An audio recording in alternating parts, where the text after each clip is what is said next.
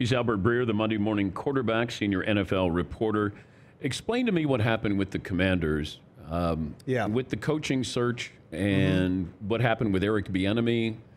Uh, was Yeah. Belichick in the mix there? You know, So, 11th yeah. hour. I mean, where wherever you want to start here. I would say like one of the things that Josh Harris and, and his group really focused on was structure, and I think that's one of the reasons why Belichick didn't fit into it. In fact, I think like overall owners' obsession now with looking at different structures across all the sports in soccer, in basketball.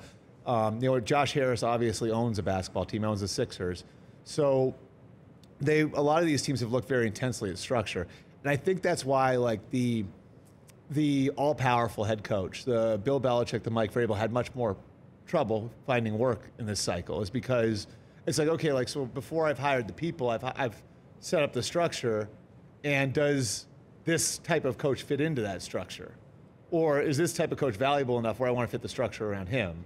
And I think a lot of these owners now are picking the structure over the coach, which I'd argue might not be the best way to do it, but that's the way they decided to do it. So they hire Adam Peters um, very, very quickly, and they were efficient about that. They got him within the first week, and they wanted to be wide open about their process. So they had Zoom interviews with, um, I believe it was eight candidates. They brought seven of them back for in-person interviews, and they wanted to be open-minded about it. Raheem Morris almost got the job two weeks ago, very close to getting the job two weeks ago.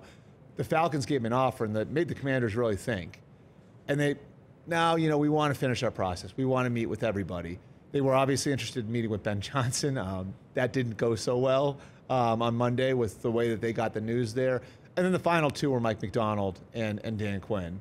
And Seattle swooping in and grabbing Macdonald sort of clarified, simplified things. Did they want Dan Quinn? Did they settle They love for Dan Quinn, yeah, like they do. But they settle for Dan There Quinn. are a lot of common connections there, though. Adam Peters came from San Francisco. A lot of the coaches in San Francisco worked under Dan Quinn in Atlanta. So Kyle Shanahan was Dan Quinn's offensive coordinator. So Quinn, look, the references were great. He knocked the interview out of the park.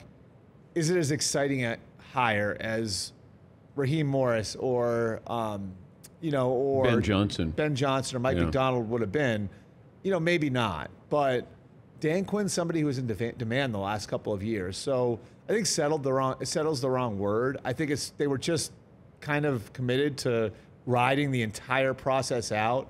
And because of that, they lost a couple of guys along the way.